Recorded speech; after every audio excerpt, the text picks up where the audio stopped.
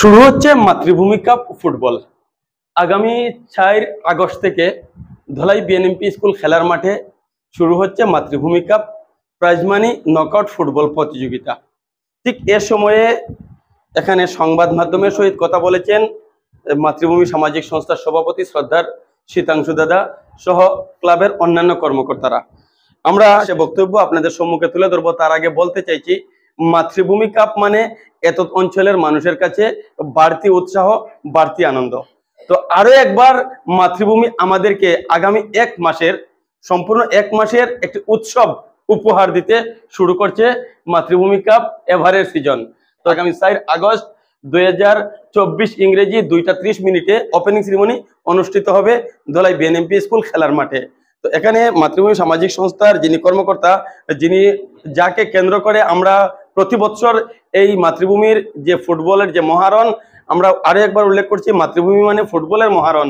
যে যে উৎসাহ নিয়ে মানুষ মাঠে উপস্থিত হয়, মাতৃভূমির সে খেলা উপভোগ করে, আমাদের গ্রাম অঞ্চলের মানুষ ফুটবলকে ভালোবাসে, আমাদের এত অঞ্চলের মানুষ ফুটবলকে যে কতটুকু ভালোবাসে তার প্রমাণ মিলে মাতৃভূমি সামাজিক সংস্থা আয়োজিত যে ফুটবল ম্যাচ, সেখানকার মাঠে প্রবেশ করার পর। তো ঠিক এই মুহূর্তে মাতৃভূমি সামাজিক সংস্থার সভাপতি শীতাংশ দাদা এখানে রয়েছেন। আমরা ওনার বক্তব্য আপনাদের সম্মুখে তুলে ধরছি। এই বছরের নিয়ে এই বছরও আবার মাতৃভূমি কাপ, ফুটবল টুর্নামেন্ট নকআউট, আমরা ধলাই বাপ নিত্যানন্দ বহুমুখী বিদ্যালয়ের ফুটবল মাঠে আমরা শুরু করব। চার আগস্ট দুই হাজার চব্বিশ ইংরেজির থেকে মাতৃভূমি কাপ, ফুটবল নকআউট টুর্নামেন্টের শুভ উদ্বোধন হবে দোলাই বাম নিত্যানন্দ বহুমুখী বিদ্যালয়ের খেলার মাঠে। সময় দুইটা ত্রিশ মিনিট। ওপেনিং সিরেমনি আমাদের দুইটা ত্রিশ মিনিট থেকে শুরু করবে। এখানে ফুটবল ম্যাচ ছাড়াও আমাদের কালচারাল কিছুটা প্রোগ্রাম এখানে থাকবে বা আমাদের যারা অতিথিরা আসবেন ওনাদের মাধ্যমে সেটা শুভ উদ্বোধন হবে। আমরা বিগত বছরে আমাদের যে চ্যাম্পিয়ন টিমের আমাদের প্রাইস যেটা ছিল বা প্রাইস মানে ছিল, আমরা একটা ট্রফি সহ আমাদের চল্লিশ হাজার টাকা বিগত বছরে ছিল। এবং রানার্স আপের ছিল কুড়ি হাজার টাকা এবং একটা ট্রফি তো এই বছর আমরা ধার্য করেছি যে চ্যাম্পিয়ন টিম ট্রফি সহ পাবে পঞ্চাশ হাজার টাকা। এই বছরের খেলায় যারা চ্যাম্পিয়ন হবেন, তারা ট্রফি সহ পঞ্চাশ হাজার টাকা এবং রানার্স আপ টিম পাবে ট্রফি সহ পঁচিশ হাজার টাকা। ষাটটা আমাদের বিশেষ পুরস্কার থাকবে, যেমন বেস্ট স্কোরার বেস্ট কিপার এই ধরনের আমাদের ষাটটা বিশেষ পুরস্কার প্রতি বছরই থাকে, এই বছরও থাকবে এবং সেটার সঙ্গেও দুই হাজার টাকা করে প্রাইস মানি আমরা ধার্য করি এখানে গুরুত্বপূর্ণ বিষয় হলো আমরা প্রতি বছরের মতো আমরা বত্রিশটি টিমকেই রাখব। আমরা বত্রিশ টিমের উপরে আমরা কোনো টিমকে রাখব না। আমরা বত্রিশ টিম রাখব এবং আজকের থেকে, আজকে দশ জুলাই থেকে বাইশ জুলাই পর্যন্ত টিম এন্ট্রির আমরা একটা তারিখ আমাদের নোটিশের মধ্যে আমরা নির্ধারণ করে দিয়েছি। যারা এই মাতৃভূমি কাপ ফুটবল টুর্নামেন্টে অংশ নেবেন যে সমস্ত টিম ওভারঅল আমরা বরাকবেলিকে আবর্তন জানিয়েছি। অন্য বছর আমরা দোলাই বা কাছাড় জেলার বিভিন্ন স্থান থেকে টিমগুলো আসতো। এই বছর আমরা সবাইকে আমন্ত্রণ জানাচ্ছি, আপনারা আসুন। আমরা সমস্ত বরাকবেলির যেগুলা ফুটবল টিম আছে, তাদেরকে, তাদের প্রতি আমরা আবেদন রাখছি যে বাইশ জুলাইয়ের মধ্যে, বাইশ জুলাই দুই হাজার চব্বিশ ইংরেজির মধ্যে তাদেরকে নাম এখানে নথিভুক্ত করাতে হবে এবং আমাদের ডিটেলসগুলো আমাদের নোটিশের মধ্যে দেওয়া আছে। যোগাযোগ করতে হবে Pinku Barman sports secretary Udit Barman assistant sports secretary Prabin Barman assistant sports secretary Elmin Khasia assistant sports secretary এবং প্রাঞ্জল পুরকাস্ত আমাদের অফিস সেক্রেটারি প্রত্যেকের মোবাইল কন্ট্যাক্ট নাম্বার আমাদের নোটিশের মধ্যে দেওয়া হয়েছে। আপনারা যারা অংশগ্রহণ করবেন, তাদের সঙ্গে আপনারা যোগাযোগ করে আপনারা এখানে অংশ নিতে পারবেন।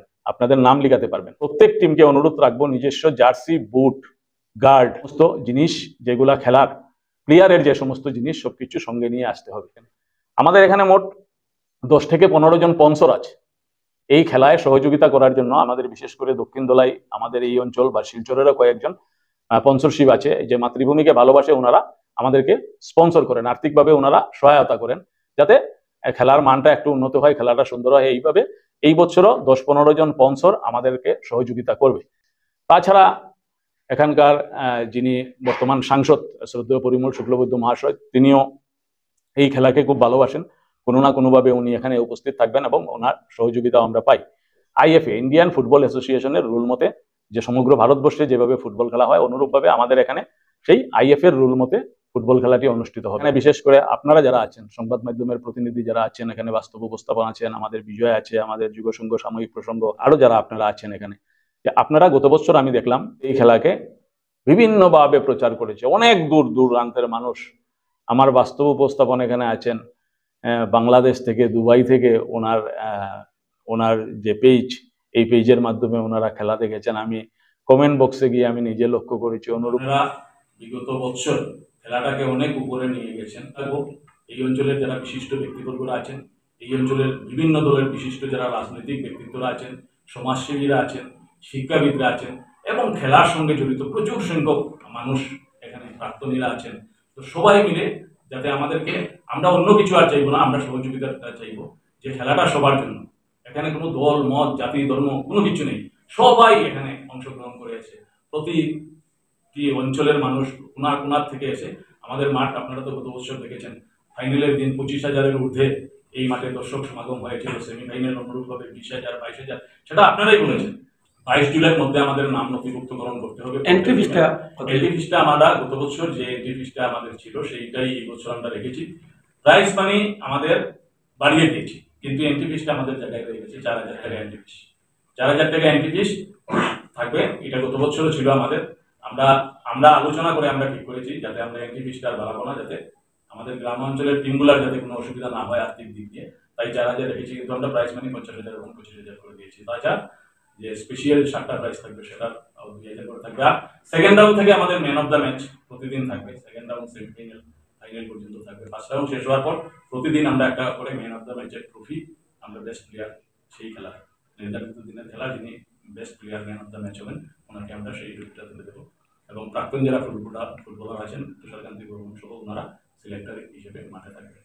তো আমরা প্রত্যেকের কাছে খালি সহযোগিতাটা চাইছি যে আপনারা শান্তি, শৃঙ্খলা বজায় রেখে এখানে এসে একটা ভালো খেলা উপভোগ করুন এক মাস একত্রিশ দিন খেলা হবে, এখানে বত্রিশটা টিম ফাইনাল নিয়ে আমাদের একত্রিশটা খেলা হবে। একত্রিশটি খেলা আপনারা উপভোগ করুন এবং আমরা আরেকটা সিদ্ধান্ত আজকে আপনাদের মাধ্যমে জানিয়ে দিতে চাই, আমাদের খেলা কিন্তু কন্টিনিউ থাকবে।